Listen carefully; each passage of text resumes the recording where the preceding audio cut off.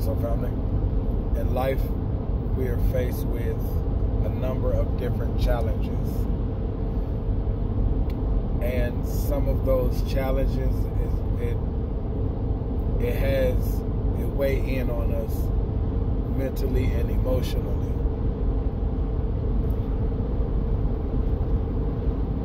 And if I'm honest, when that began to happen, I don't really feel like doing too much of nothing. Because I'm embracing the feeling of what I'm feeling at the time. I'm embracing it a little bit too much. I'm giving it too much attention and power to a point where I'm not necessarily exhausted, but it's like, you know what? I, I don't even feel like doing this. I mean, you know, I'm speaking of my purpose work. You know what I mean? Like every day, every day I have a task. Every day God give me a task. And usually like, you know, like whether it's the day before, days before, I know what I'm supposed to do every single day. And, you know, one minute I'm motivated, you know, and next minute not so much. But it's what we do is is what we do in those moments is what counts. Because if we only do what we're supposed to do when we feel like it, think about how often do we actually feel like doing doing something out of uh, out out of our comfort. You know what I mean? When it come down to purpose purpose work, like it's it's the base of it is faith and obedience. You know what I mean? Like doing something not knowing what the result of it. Sure, the goal is in place, but not sure if and when the outcome would be. And doing this over and over and over again, days and days, months, years at a time. Like it can be discouraging. So it's it's easy to be like, you know what, honestly, like I don't really feel like doing it today. And it'll be legitimate. It, it's not legitimate, but it feels legitimate. Like I, you know what I mean? Like I, I'm just gonna take a break, but it ain't no breaks. It's just not. Like sure, like you know, like you can. How can I put this? Because obviously we need rest. Obviously, like you know, we need to, you know, like take a breather but like honestly, like when it come down to purpose work, doing God's work, there really there's no break. There's no breaks.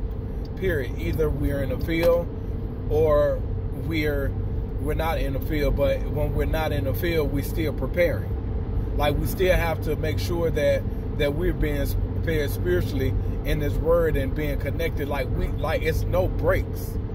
You know what I mean? Like so there's times where like I don't I just don't feel like it. You know what I'm saying? Today was one of them days. Well, yesterday was one of them days. I just didn't feel like it. And it's like it's like when it's like that the energy is different.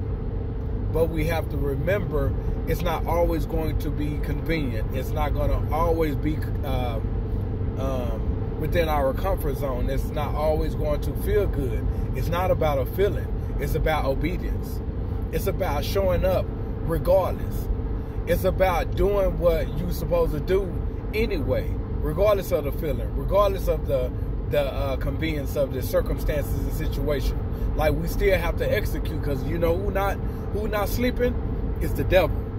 You know what I mean? Like he's like he's him and his flunkies. Like they are they are executing on a high level. We don't have time to breaks. Like we're supposed to be doing this for the kingdom. There's no breaks. There's no days off. You know what I mean? Like, period. So, bring it down. You know, I can get excited. What I'm trying to say is, like, although you don't feel like it, like we, it's it's still work that has to be done. We still have responsibilities. They're not going to take care of themselves. And we want God to do such like so many great things in our lives, bless us in so many ways, but we giving him, excuse my French, half-ass work. You know what I mean? Like we we showing up work, not really feel like it. You know what I mean? And our energy is demonstrating that. It's displaying that.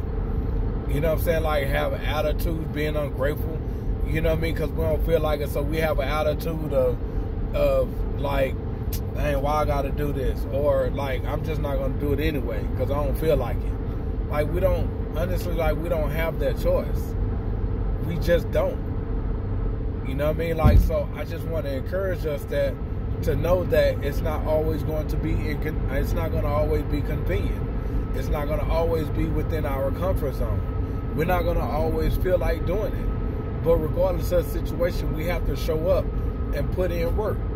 Period. You know what I mean? Whether we're going to see the outcome of it today or tomorrow or not. It's it's faith. You know what I mean? Like it's a faith walk. It's a journey.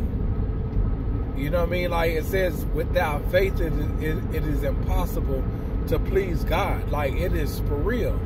You know what I mean? Like yeah, we can. Like it's easy to get up and go to work, and we don't even put in our hour out when we go to work.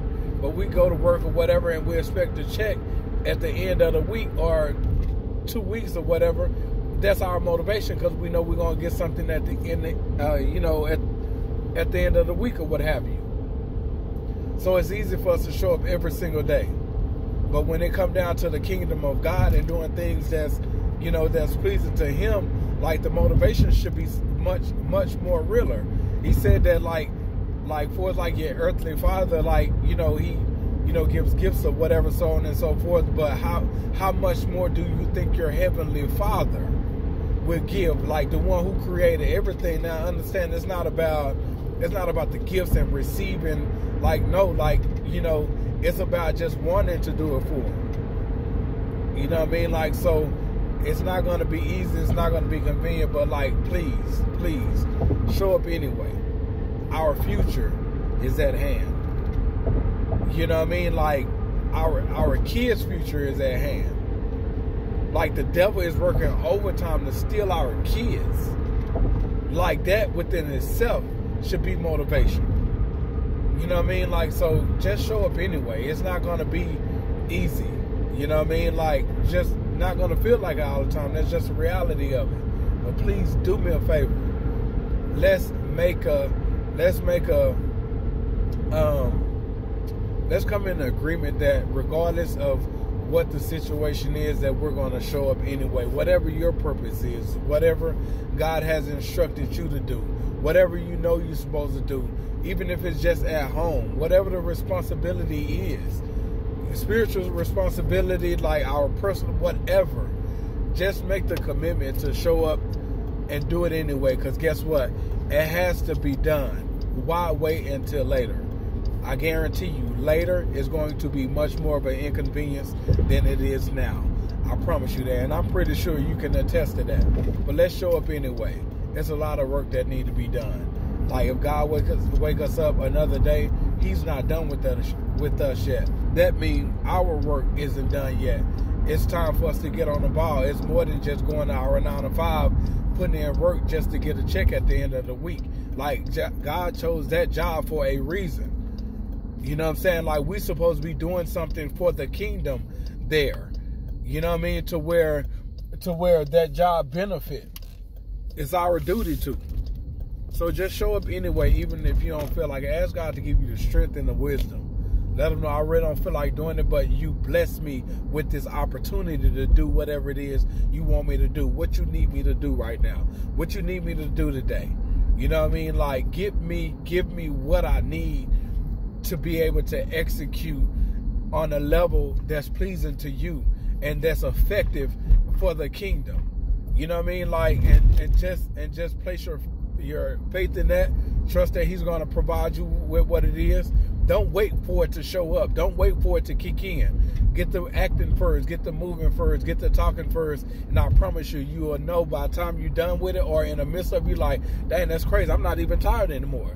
That's crazy. I ain't even know what to say honestly, I didn't even know what to do, but it worked out well because you were obedient. Let's show up anyway. I love you guys. Stay blessed. Peace.